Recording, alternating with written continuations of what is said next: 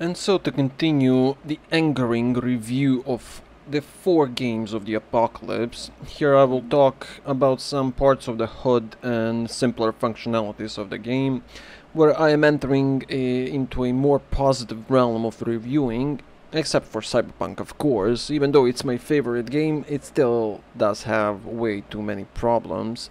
So let's give a few points to the amazing features of these four wonderful games. So, weapon variety here in Cyberpunk. It's of course nothing out of the ordinary, but still decent and there's a lot of different choices of weapons. Of course this will be zero points since the utilization of all of those different weapons is pretty much non-existent. Right from the beginning till the end it matters absolutely null what weapons you're using.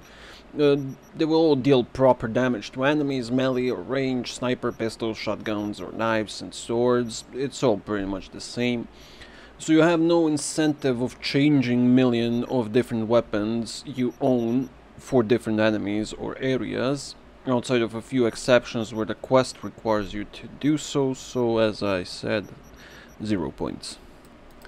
So variety here in Red Dead Redemption is okay. You have the choice between lots of revolvers and pistols, between lots of long-range weapons, one real sniper, few shotguns, and that is about it. Outside of the minigun, mounted or mobile, there is there are no extraordinary weapons here. You will generally be using the same weapon here for almost everything, excluding hunting, of course, which I will be talking about later, but all of the weapons make absolutely zero difference in an actual fight against humans. They pretty much all do what they are intended for, and that is to kill whatever you shoot at, with damage being not so really important here in the game, so basically zero points for this. And now the Warframe. It will be a little bit unfair towards other games in this comparison since it's a multiplayer game and new things are being added at a constant rate for many years now. So, weapon variety here is just stupendous, as would be expected from a multiplayer shooting game. You have main weapons, which would be guns, secondary weapons, which would be pistols, and melee weapons, which would be, well, melee. In general sense, of course. You can have normal automatic weapons, shotguns, rocket launchers, bomb launchers, different energy weapons, throwing weapons, bows and arrows, snipers, and so, so much more. And that is only for main weapons. There are hundreds of different weapons which, same as for most other games, you will not be generally using, but for the sake of leveling your mastery rank, you will be using all of them at least once and will try them to see if you like them and with addition of Riven mods that are specific to each weapon you will have more incentive to use some weapons than you would never think of using normally. So they fixed a little bit the abundance of weapons that would just lie dormant in your inventory or you would normally just sell. So most weapons have primed versions of themselves, which are the same weapon essentially, but with better stats and modding capacity. And then there are variants like Glaxion, Arcaracta, Prisma, Vandal, Wraith, and so, so, so, so much more. And of course, a building of gilded weapons. So I will give plus one points to this. And weapon variety in Witcher is, as I stated in last video, pretty much non-existent. Steel and silver swords are the main weapons, but again, it ties to the story and the world of Witcher, so it does get a pass. There are axes, maces, pikes and crossbow that you would actually use if nothing else than just to take down flying enemies and underwater crossbow is the only thing that with which you can kill the Witcher Murlocs. But all in all, there is pretty much nothing here, so zero points to this. Equipment within Cyberpunk is also mainly irrelevant. You could finish the game butt naked with fair ease, and there is some variety of equipment slash gear, that will be useful. Some will give you armor or a melee damage bonus, faster hacks, stealth stats, resistance to explosion and other damage factors. But again, nothing that would be unique or more unique from any other game. And again, completely something that you could easily go without, so I will give this 0 points. We do have cyberware that could be considered as equipment and it does add to the gameplay boosting your stats but again quite irrelevant you could easily play the whole game through as a clean human and butt naked.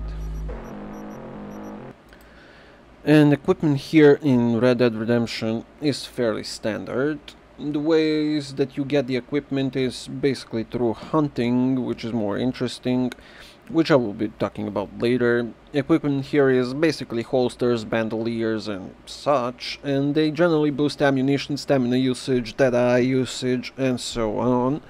So most of it is standard. But there are also trinkets and talismans that are more interesting and are used for basically everything that you uh, have in the game and are able to do within it for more experience gain, stamina, HP or deadeye drain, to lower degradation of weapons and better chance of loot.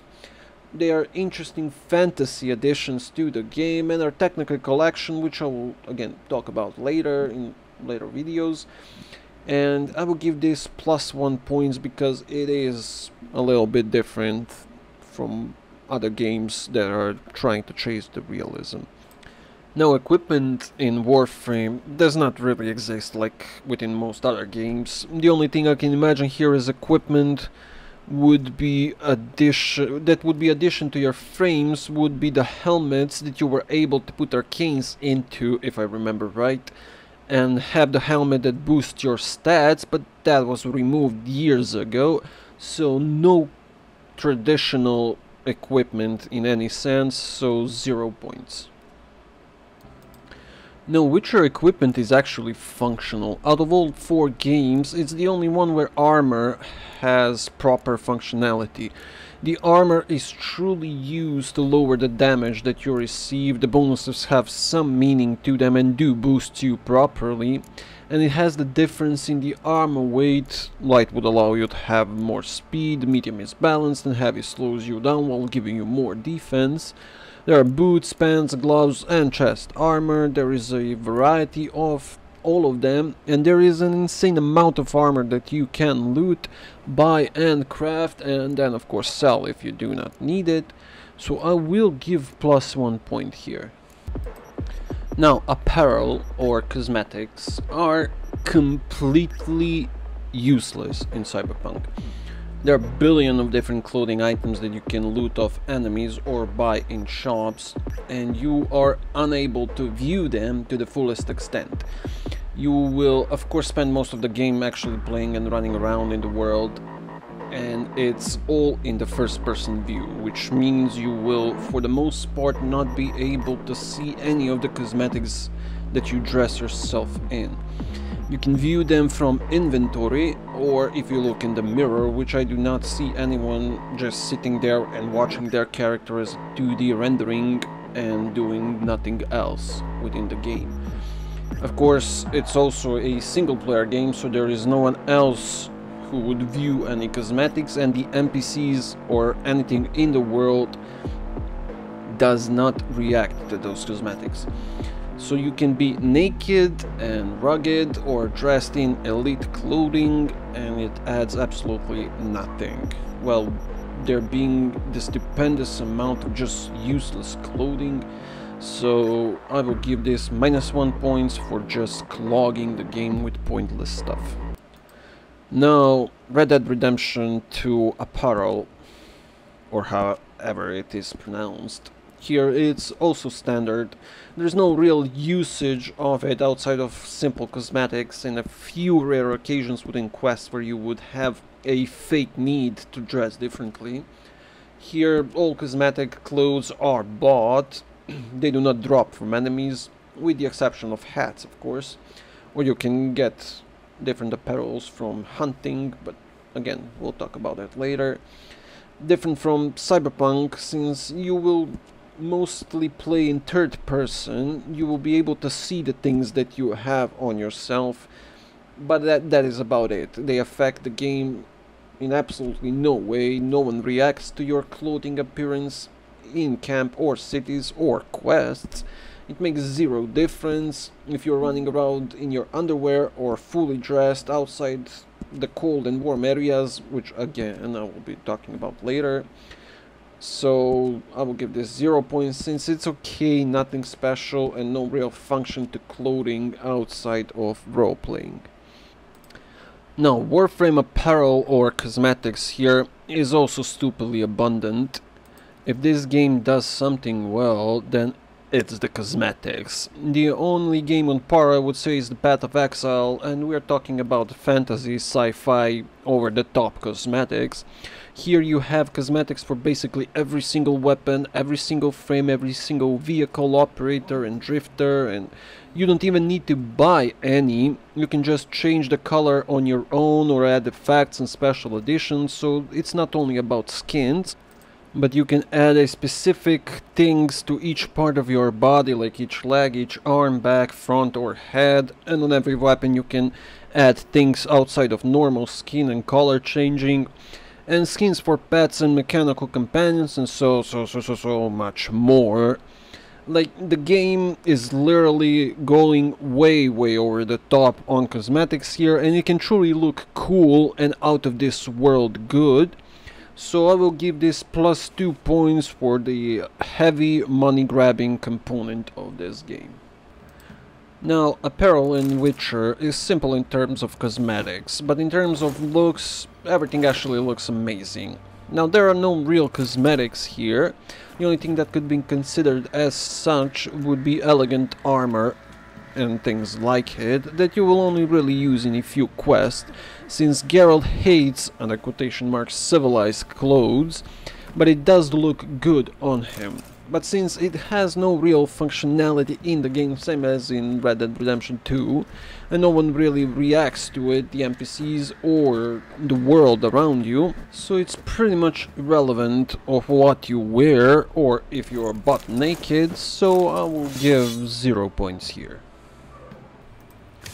Now, character looks um, or physiques, I mean, dude, was I disappointed with this.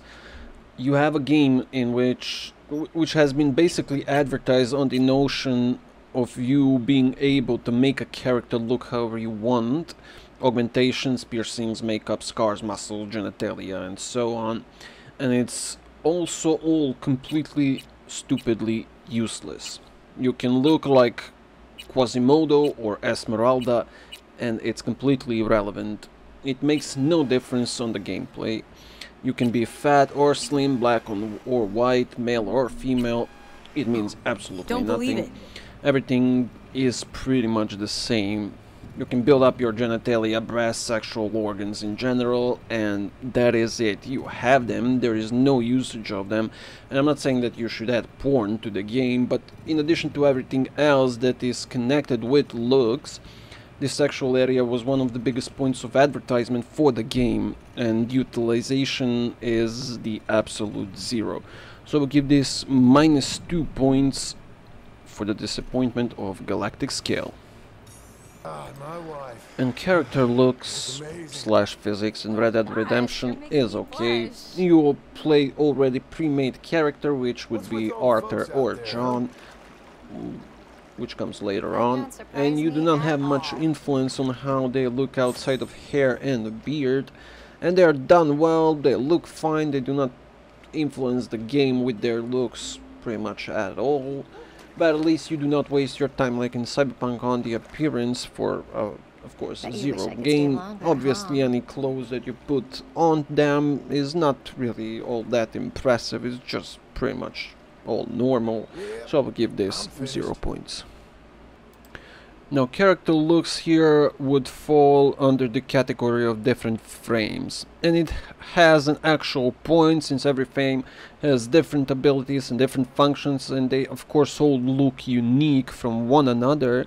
You have Rhino, for example, which is a bull charging type, and then you have Saryn, that's curvy, sexy poison, for example. So I will give this plus one points for the amount of diversity of default character appearances here. Now character looks here is actually good. Since Geralt is fairly good looking man, he is handsome and bulky and covered in scars of course from all the battles and most of things that you put on him stand really good. All the armor and weapons that are on him look proper and fit properly.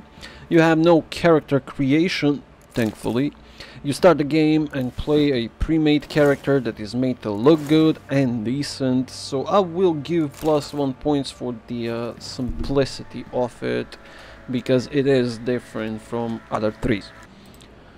Vehicle variety in Cyberpunk is okay, there are a lot of vehicles, cars and bikes that is, that you will be able to acquire, where you will, same as weapons, only end up using only one or two of them, one car and one bike generally. And unless you want to actually roleplay with yourself in a single player game you will not be required to ever switch vehicles since most of them as I pointed out in the last video are extremely bad and you will be running with a few at best good ones so outside a few quests that require you to drive something else, even though there are a lot of vehicles, you will never be using most of them, so zero points since it's pretty much standard with most games.